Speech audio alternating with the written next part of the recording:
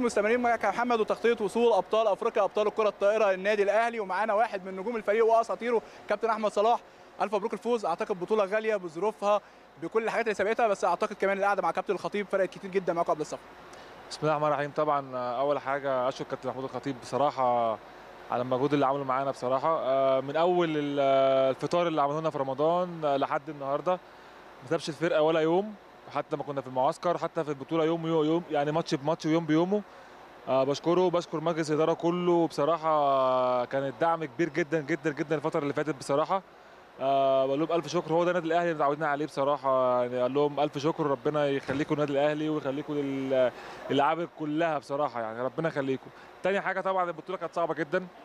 أه أكيد طبعا بعد خسارة الدوري والكاس دي بتبقى الموضوع صعب جدا. أنت رايح كمان تلعب بطولة في تونس والترجي كمان في أرضه وسط جمهوره عنده تسعة أو 10 لعيبة في المنتخب والمنتخب بتاعك متأثر منه اخر بطولة خسرانها في مصر. فالموضوع كان صعب طبعا لكن إحنا كان عندنا عزيمة ان إحنا ما ينفعش نطلع من الموسم من غير بطوله وده أنا عمري في حياتي ما حصلت معايا في النادي الأهلي إن أنا ألعب موسم ما أخش فيه بطولة يعني. دي كانت صعبة جدا بالنسبة لي والفرقة كلها نفس القصة وقعدنا مع بعض اللي إحنا هدفنا هو هدف واحد بس اللي إحنا نموت على كل كورة وكل ماتش لازم نكسب البطولة دي بأي طريقة نرجع بيها نفرح بيها جمهورنا ومجلس الإدارة و... ودي أقل حاجة ده ندينا كابتن محمود الخطيب بصراحة اللي هو عمله معانا و... والحمد لله فعلا يعني من أول ما وصلنا لتونس لحد آخر يوم بصراحة كان الالتزام وال... وال... والعهد اللي إحنا اتفقنا عليه قبل ما نمشي من ال... من القاهرة هنا مشي زي الساعة بالظبط. فالحمد لله دي النتيجة فعلا ان ربنا كرمنا وقدرنا نكسب البطولة. الحمد لله رب العالمين.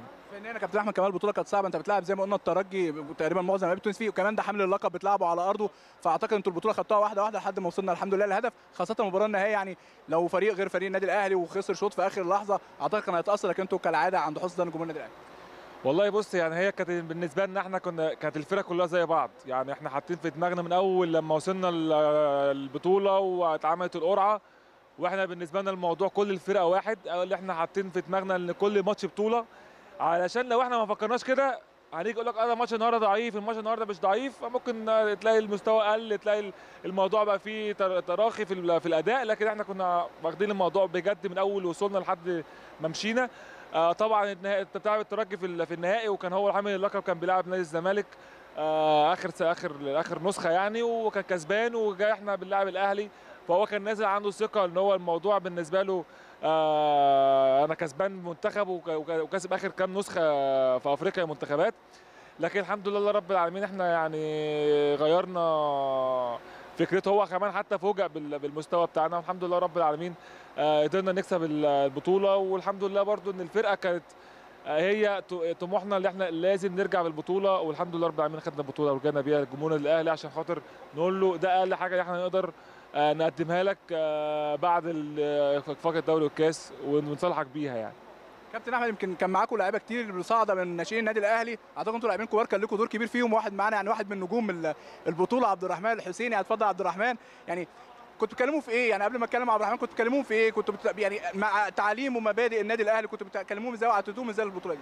والله طبعا إحنا دخلناهم واحدة واحدة في أجواء حتى قبل قبل قبل ما نسافر تونس عبد الرحمن أصلا موجود في الدرجة الأولى بقاله فترة يعني مش مش مش دي أول سنة ولا ولا ولا ثاني سنة بالعكس هو بقى أربع أو خمس سنين في الدرجة الأولى بيتمرن وبيلعب ماتشات فهو ما شاء الله كمان هو لعيب عنده كاريزما كبيرة جدا ولعيب عنده خبرات.